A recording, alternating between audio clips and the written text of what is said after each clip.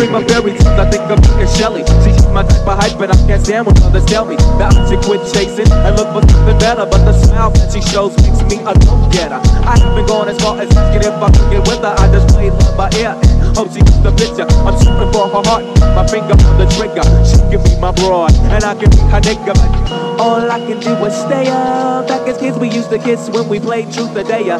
Now she's more sophisticated, highly educated, not at all overrated. I think I need a prayer to get in a book, and it looks rather dry. I guess a twinkle in her eye is just a twinkle in her eye. Although she's crazy stepping, I'll try and stop the stride, cause I won't have no more of this passing me Time for me to smile, better get pretending she didn't have me. Sprung like a chicken, she's in my tail like a doggy. She was kind of like